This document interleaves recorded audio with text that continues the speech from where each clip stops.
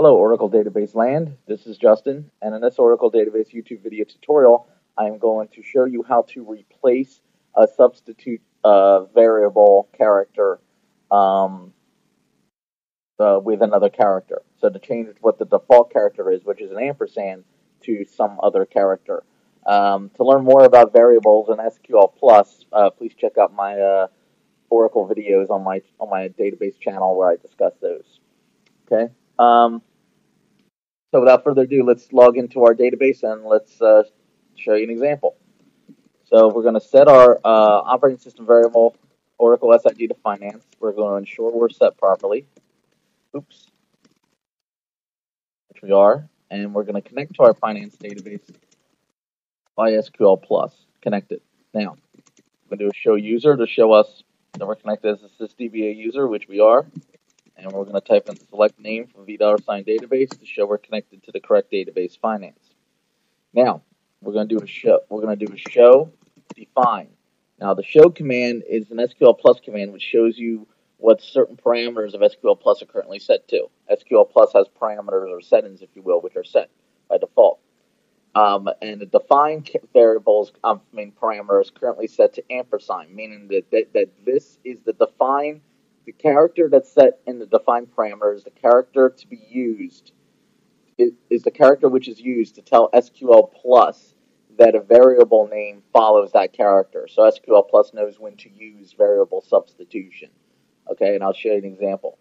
I have a table that I created in my database prior to shooting this video known as names.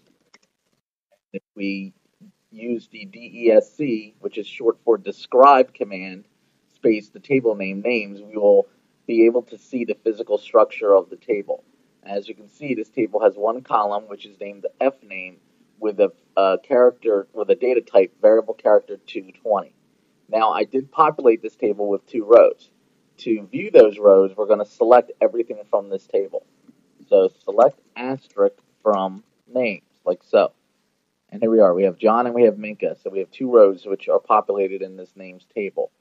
Now, if I wanted to select, if I wanted my select statement to only return the value of the F name column, a row in the F name column, which has a value of Minka, I would type in the following. Select F name from names where F name is equal to Minka. Okay, so to dissect this command, what we're saying is select the column F name, rows from the column F name, um, from the names table where the F name is equal has a value of Minka. And our result set is just the Minka row, and that's what we wanted it to do. Now, if we wanted to use variable substitution, we would do something like the following. We would say select ampersand. Well, first we would define our variable. Okay, define var shows that the var variable is not set, so we need to define it. Define var equals f name. Now that defines the variable var to have a value of f name. Now when we do a define var, we will see that the var variable is currently set to f name. So now let's tell SQL Plus to use variable substitution in our query.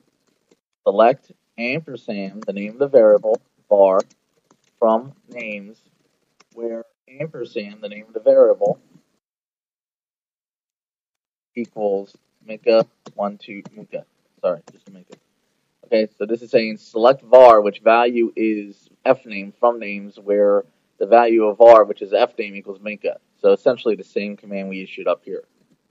And you can see it works. It shows that the old version was was what is what the variable names are, and the new version, like what SQL, what Oracle um, interpreted it as, was the value was the command with the value of those uh, character of those variables. Now, the reason why the select statement did this is because the ampersand was there, and the ampersand tells SQL Plus that the character that the characters to follow it is the name of a variable, and to look up that name, that that value that variable. Okay, um, so we can change that because the default is an ampersand. But if we change define to another character, another character will now have that special meaning. So we can say set define pound sign, and it has to be a special character. It can't be alphanumeric. Okay, it can't be an alphanumeric character. It has to be a special character. So set define pound sign. That's what I'm going to use. If I do a show define, I will see that it has changed from the default, which is an ampersand, to a pound. Now, when I issue my select, use an ampersand var on each one he, on, on each occurrence of the variable here on my select statement, okay, it's not it's it's not going to work because that is not it is not a variable anymore. Okay, it doesn't know what this is now. But if we change the ampersand to pound, we will see that it works. Why? Because we changed the we changed it from an ampersand to a pound. Okay? And just like with variables in SQL Plus, the set commands are also not persistent if you set them that way in SQL Plus. So we do a show define, we'll see that it's back to ampersand. And if we do a define var fname like so, and we do our select statement again, our old select statement, we will see that it now works because everything was reset. Ampersand's now here, and we reset our variable, we're good. And if we were to the the pound signs here, and because we didn't change it here, okay, it wouldn't work. Pound sign really doesn't have any meaning at that point. Okay, so that's how you change character substitution. Um, I mean, a variable substitution in SQL Plus commands. Thank you.